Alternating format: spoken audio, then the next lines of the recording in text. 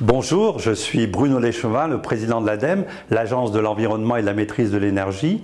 Demain, quelle société, quel futur? Une croissance nouvelle, une croissance plus belle parce que préservant la planète, préservant les ressources, invitant à l'innovation, invitant à la mobilisation de l'ensemble des acteurs de la société civile, qu'il s'agisse des entreprises, des collectivités, mais aussi des citoyens. C'est une société qui émergera grâce aux opportunités technologiques, mais aussi à notre capacité à changer nos comportements dans un modèle plus de partage, de collaboration.